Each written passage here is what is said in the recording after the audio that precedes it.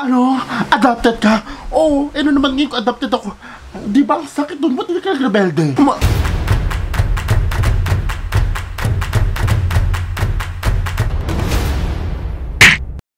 What's up mga jammers and welcome to another jammers session with me, your student Jam! Jam! Woo! Energy! Energy! Una-una gusto ko yung ng Merry Merry Christmas! Woo! First Christmas vlog ko to! ang saya-saya! Ang saya-saya! Alam niyo ba kung ano oras ngayon? At anong date ngayon? Ngayon ay December 25, 12 midnight as in sharp! Joke lang. 12.46 pala. Ayun no, kitang-kita. Baka bagaya ako at mabash ako. Pero line of 12 pa rin, hindi ako nagsisinungaling. Siguro kayo nagtataka ba't nandito ako ngayon na ba't ako nagpa-vlog ng mga oras na dapat nag-celebrate ako sa mga magulang ko sa Christmas party sa labas. Eh, wala namang Christmas party ngayon sa labas kasi lahat sila tulog na. Walang handa. Pero okay lang yan kasi normally naman talaga ako nag-celebrate ng midnight ng Christmas kasi lahat sila tulog at matatanda na rin kasama ko. Parang ako, ay hindi pa nabata pa ako. Pero okay lang yan kasi kinabukasan or later, lunch, meron kami celebrations, family lunch at sabay-sabay kami kakain at kakain ako na kakain habang kayo'y nakatingin lang at may ingit kayo sa kain namin. It's my time to shine. Puro salat, sorry kasi kung maingay yung background kasi naka-electric fan ako kasi kanina bigla sumabog yung plug ng aking aircon. Nakakabaliw, di ko alam gagawin ko. Kala ko magpapakubombero na ako kanina. Ganun, ganun, no? bigla siyang sumabog. Nagpifilm ako, bigla sumabog. Kaso hindi ko na record, sayang. Ang ganda sana ng vlog yung reaction video ko nung sumabog yung plug ko kanina. Akala ko ako yung handang pang lechon mamaya eh. Anyways, kung first time mo dito sa channel ko, welcome to the Kajammers family! Welcome! Mama, mama, mama, mama. Ba't parang sobrang energetic mo ngayon? Parang feel na feel ko yung Christmas spirit. Dapat talaga masaya tayo dahil Pasko! masaya ako! Woo! Woo! Woo! Pero yun na nga, simulan natin tong topic na to kasi ang pag-uusapan natin ay tungkol sa! Adopted ba ako? so yun na nga. Yun na nga yung topic ngayon. Joke lang, hindi ako ganun mag-discuss ngayon. Dapat energy tayo. Energy, energy, energy. Ba't ang hilig kong gumanon ngayon, no? Gusto mo yun, gumaganon? Kayo nga din, sundan niyo ako. 1, 2, 3, 4, 5, 6, 7, 8. Mga uto-uto, ginawa niyo, no? Pero oo nga, adopted nga ako. Pero alam niyo, ang dami namin nagtatanong, bakit hindi ka nag-rebelde? Bakit, bakit ganito? Ba't ganyan? Di ba ang dami mga adopted ngayon napapanood sa TV, parang parang napaka-burden ng buhay nila pag napapanood parang nalalaman nilang, oh my gosh, adopted ako, bakit niyo ako niloko? Ba't di sinabi sa akin agad? Manloloko kayo, maglalayas ako. Di ba ang dadrama? Ang dadrama nila. Pero sabi kasi hindi duman sa ganyang klaseng buhay. Yung iba kasi, sinasabi na adopted sila. Yung ano na, yung ano mo yun, yung may isip na sila, yung mga siguro teenager na sila, di ba, ganon. Tapos, nasashock sila kasi, oh my gosh, adopted ako. All this time, makanak siya yung tunay kong nanay. Mga ganon, mga ganon eksena. Mga eksena talaga na, na, alam mo yun, na maglalayas ako, niloko niyo ako, mag-rebelde ako, ayoko na sa inyo, aalis na ako, hanapin ko yung tunay kong nanay, tunay kong tatay, sino sila. Ganyan yung mga nakikita niyo sa TV na nagaran o mga nagreklamo mga bata o tao na nalaman na adopted pala sila. Normal na mashock talaga sila. Kung isipin mo, magdadabog ka pa ba? Magtatapo ka pa ba? Pero sa bagay, nakakatawa naman talaga kasi feeling ko, po ako yon tinago sa akin ng matagal. Mm, medyo masakit ngayon, pero kung isipin mo, napakaswerte ko. Actually, napaka-blessed ko talaga na malalaman kong adopted ako. Kasi unang-una, kung hindi ako na-adopt, nasa ano ko yung dapat nasa kalye ako ngayon. Dapat nasa kalye ako, siguro nasa may mga side street ako. 'Di ba Parang, ano kayang buhay ko kung hindi nila ako in-adopt? 'Di ba? Naintindihan niyo ba yung sinasabi ko? Naintindihan niyo ba? Pero yun nga, minsan talaga may mga ganong reaksyon mga tao, yung mga lalo na yung mga matatanda na na nandun lang nila na alam mo yun, na hindi sila tunay na katugo, ganon. Pero Kung isipin mo, magreklamo ka pa, eh buti nga may nag-adapt sa'yo eh. Di ba? Pero alam kong masakit, alam kong masikip talaga sa dibdib malaman ng ganon. Pero, okay lang namang may maramdaman mo yan. Okay lang maramdaman mo yan. Kung ikaw yan, okay lang maramdaman yan. Bakit? Kasi, nasa state of shock ka pa eh. Pero sana naman eventually, go mo na yan. Mga, siguro sabihin natin mga mga 3 days. Mga, okay na yung 3 days. Mga, oh, gusto mo 5 days. Negotiate natin, ano? 3 days, 5 days, 4 days. Okay yun. Pero no, seriously guys, para sa akin naman, hindi mo na maksimisisi yung parents mo or yung nag-adopt sa'yo kasi, di ba, may rason kung ba't nila sinabi sa'yo agad. Pero ako naman, naniniwala ko, nasasabihin nila yon kasi wala namang magulang ang gustong nagtatago sa kanilang anak, di ba? Lalo na kung sa ikabubuti nila. Pero na nga, ano ba nangyari sa akin? Sa akin kasi, nung bata pa ako, kasi mga sanggol pa akong gantong gantong kaliit, mga ginaganyan pa ako. Mapayat pa akong ganon-ganon. nalaman ko siya, bata pa lang ako guys. So sinabi nila sa akin yon mga mga medyo maisip like mga siguro 4, 5, 6, 7, 8 years old mga ganon. Basta wala pang 10. Sinabi nila sa akin yun, minindset na nila sa akin yun na adopted ka. And talagang because of that, hindi na ako na-shocking, wala akong questions, alam mo yon At actually, na-feel kong blessed talaga ako kasi imagine mo, eh sino namang, ano namang mangyayari sa akin kung kung hindi ako na-adapt, di ba? At syempre kasi, bata pa lang akong mindset nila sa akin yon na, oh, blessed ka kasi, yan, in-adapt ka, you're chosen, you're very special. Mga parang special child lang na ganun. No, but seriously, I am so blessed na, na in my part, di ba, bata pa lang ako, habang lumalaki ako, pinifeed na sa akin yung idea na adopted ka, pero mahal kita, I'm, you're, you're chosen, I'm supporting you, there's nothing to worry about, di ba? Kaya ako, growing up, hindi ako na-shock, hindi ako nagrebelde, sobrang feeling ko, loved ako, blessed ako. Wala ako yung mga drama sa TV na, yung sinabi ko kanina nagdadabog and everything, alam mo yon mga ganong-ganong bagay. Wala akong ganon kasi maganda yung approach sa. So I'm very thankful sa lola at sa mama at papa ko na sa mama at papa ko na gano'n naging approach nila sa akin kasi hindi talaga ako na-shock at all.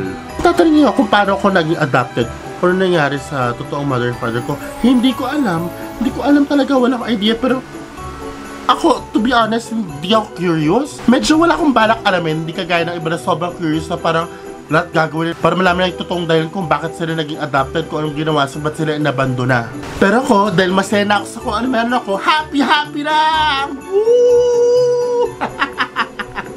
no, but seriously, why will I have to find them if I'm happy with the love and the support I'm getting from my family now? Diba? There's, there's nothing to regret. Sobrang saya ko ngayon. Promise. Di ba kita yung saya ko ngayon? Ha? Because there's no way you should regret kasi you're chosen, you are loved, you are valued. Alam mo yon hindi ka kinuha tas, tapos ginawa kang katulong, hindi ka kinuha tapos pinabayaan ka lang dyan. Hindi eh. Kinuha ka, inoon ka ng parang sariling anak at inalagaan ka Di ba? Tinan mo, grabe pagkaalaga sa akin, di ba? Laking-laki. Di ba? Yun! Ganun dapat ang nasa utak mo. Pero kung tatanungin mo ako, nagkaka-issues ba ako sa ibang mga pinsan ko, sa ibang mga tito-tita ko? Well, before, kabataan, pero nothing really serious. Um, di ba? Ako, ako naman kasi, nagpo-focus ako sa mga bagay na positibo. Ngayon, I'm very happy na kahit ganito ako, I've been proving myself na, alam mo yon na talagang kaya ko, di ba? I'm, I'm medyo nagpapak-independent-ish ako, na kaya ko sarili ko, na it's my time to give back. Well, hindi pa ako perfect, perfect sa give, perfect. Pero hindi pa ako perfect sa giving back. Pero alam mo yon wala talagang issue na eh. Parang lahat talaga sila tanggap ako, in-embrace ako. Kaya I'm very, very happy na and sobra-sobrang blessed na punta ako sa gantong pamilya. Kaya kayo, huwag kayo naging inarte alam ko iba sa inyo masakit pa rin pero tanggapin niyo na katotohanan, accept niyo na. Kasi alam mo bakit? Ang swerte mo nandyan ka ngayon. Yung iba nga dyan, iniiwanan lang sa basurahan. Yung iba nga dyan, kung saan sa lang iniiwanan, tas wala na, nasa kali na lang, lumalaki o bigla na lang namamatay kasi wala nagsusuporta. Minsan nga dyan, binabalot sa plastic, tapos lang sa tubig. Ikaw bang, ginawa ba sa inyo yan ng magulang nyo? Ha? Kung isipin mo na para responsable kahit papano na totoong mama at daddy kasi binigay ka sa tamang tao na alam nilang aalagaan ka. Naisip mo ba yun? Dapat naisip mo yun. You have to see the good in every situation. Guys, ano ba? Ano ba? Na nag-iinarte. Ang blessed mo. Imbis na nag-iinarte ka dyan, magpasalamat ka na lang. Diba? Yun ang naman eh. Salamat. Kinukup mo ako, ilagaan mo ako, sinuportahan mo ako, pinalaki mo akong ganito. Diba? Magpasalamat ka na lang, alam mo yon and, and it's, it's time for you to kind of give back to them, right? And honestly, I'm in the in the process of struggling to give back to them kasi ako naman, 'di ba? Hindi pa naman ga, hindi pa naman ako ganun ka-stable. Pero I know darating yung time mapag-give back ako sa kanila. Hindi man sa tangible things but you know sa time. Alam mo yon, medyo I'm still putting things together with my new season. Pero okay lang yun, naniniwala ako na through God, through His grace, walang imposible. Magagawa ko lahat yon at mabibigay ko sa kanila lahat ng mga kailangan nila, lahat ng support na kailangan nila eventually. But for now, I'm still praying. I'm still asking God to guide me all throughout this season. Makapag-adjust na ako, alam mo yung makaipon ako, makapag-manage ako ng time ba mahanap ko na totally sarili ko para makapag-give back ako sa kanila totally. Yun ang mindset ko ngayon. Wala akong pinag-inarte na, oh my gosh, asa na kayong totoo kong magulang? Oh my gosh, alpa kaya nila ako. You're feeling that way, okay lang naman din yun. Pero ako kung tatarin mo ako, nasaktan ba ako? Um, nagka-questions ba ako kung ba't nila ako iniwan? O bakit nila ako hindi pinaninigan? O bakit nila ako pinamigay? Well, oo, nagalit ako. Pero I just remembered how forgiving our God is, our Creator is. So who am I not to forgive? So talagang na-let go ko na yon, alam mo yon, and I just focus on the present and in the future. Talagang ang nasa mindset ko ngayon, I'm blessed kasi I have people like them around me who supporting me until now. ba? But I'm not gonna lie, nasaktan ako. Pero sa sarili ko lang, pero sobrang siguro nga, one day lang ata yun, o two days eh. But after that, wala na, let go. Let go. ba? Let go. Baka lang yung baliw ako, hindi ah, normal akong tao ah. Magpapak-energy lang ako, energy! Go, go, go! But anyways, kung ikaw yung taong nasa stage na you just found out na you're adopted, guys, you know, number one, accept. Number two, be grateful. Number three, always remember that you are loved, you're adopted because because you are loved and you are chosen. Iba yung chosen eh. Iba yung totoong anak na, na alam mo yung inere, in-expect mo na, ay anak ko to, inere ko to. Pero iba yung may totoong anak, may totoong pamilya, tas pinili kita dahil mahal kita. Iba yun, di ba mas masarap yun? Di ba masarap-sarap pakinggan na chosen ka, na mahal ka, na hindi ka pinabayaan at inalagaan ka. Kasi, alam mo yun, I think that's really special. That's so special. And you have to thank God for using your family now, your current family now, because He made sure na they're taking care of you, that they are giving you the love that you absolutely deserve na hindi nabigay ng unang parents mo. You have to be very grateful and thank God na gano'n kanya kamahal, na gano'n kanya hindi pinabayaan. And also, all the more, you have to be grateful to your current parents kasi nandito sila. Kasi sa hirap ng buhay ngayon, they still chose to accept you as their own, very own son or daughter. Alam mo yon, just be grateful. And if you ask me, ako, may regrets ako, na-adopted ako. I had, I had never regrets. Because kung hindi ako i-adapt, hindi ako makagraduate ng college. Hindi ako makakapag-internship sa States for a year. Hindi ako maging ganto ka-skilled in terms of training, F&B. Hindi ako makakapagsalita ngayon sa harapan nyo at makagawa ng mga YouTube videos para sa inyo. Kaya kung ako sa inyo, may effort to, may pinagaling ito, hit that like button and subscribe button at yung notification bell na rin para ma-notify sa mga bagong uploads ko. But seriously, no regrets. I am so blessed na even in this season of life, andito pa rin sila para sa akin. And mom, dad, lola, my Reyes family, thank you so much for all the support. Thank you so much. Kasi from the bottom of my heart, I may not say this in person, but I just want to let you know that I appreciate you guys and I love you guys. And thank you so much for accepting me as a part of your family. Drama. And today is Christmas. I think the best gift that you can actually give them is number one, the time. Number two, the attention. Number three is to express to them how much you love them and how grateful you are. Because more than the tangible things that you can give them is the love and the appreciation that you can actually express to them. That is more than enough. Okay? That is more than enough. So kung ikaw ngayon, nanonood ng video ko ngayon, please after the video, stop using your phone and start engaging with your family. Alam mo yon, yakapin mo to kasi ito yung gift ni God sa'yo. Na you should never regret ever in your life. Tumalsik laway ko. so kayo naman, sa mga taong nakakaalam na may adopted kayong pinsan o may adopted kayong kapatid o may adopted kayong kaibigan, guys, encourage them, okay? Encourage them. You have no right to bully them or or make them asar na, ah, adopted, ah, walang tunay na magulang. You have no right to say that because more than the tunay na magulang na meron kayo, merong nanay o tatay na responsible enough who chose that person to love and take responsibility and and take charge of the life of that person. Who are you to judge? Who are you?